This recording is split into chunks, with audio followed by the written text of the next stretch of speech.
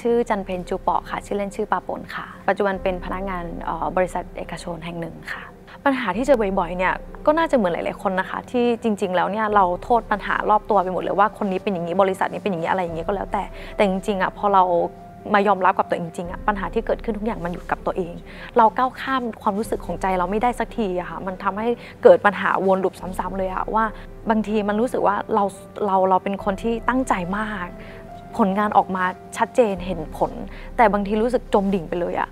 มันคือเหมือนคนละคนเหมือนเป็นไบโพล่าค่ะ เราก็รู้สึกงงตัวเองว่าทำไมเมื่อวานฉันยังรู้สึกตั้งใจมาก แล้วฉันก็มีพลังบวกมากอยู่เลยทำไมวันนี้อยู่ดีๆ มันจมดิ่งได้ขนาดนี้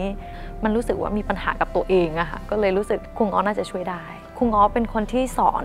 แล้วรู้สึกจริงใจที่สุดอะค่ะคำพูดทุก ๆคำของครูง้อมันจริง มันใช่แล้วคือ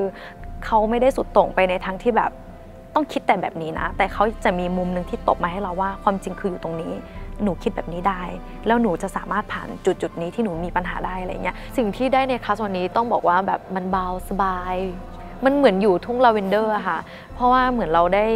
พอดีลกับตัวเองแล้วอะเราเราเห็นจุดต่างๆ ของตัวเองเยอะแยะเต็มไปหมดเลยว่า อ๋อตัวเองติดตรงนี้นี่ว่าอ๋อตัวเองต้องพูดอย่างนี้ต้องคิดอย่างนี้ต้องอะไรเงี้ยคือครูอ้อสอนทุกอย่างที่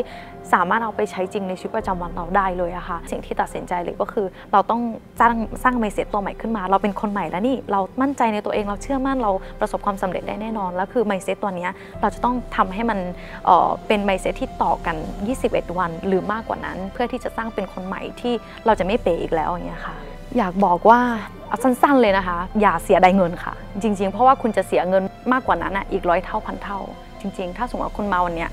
คุณจะได้ทุกสิ่งทุกที่คุณต้องการ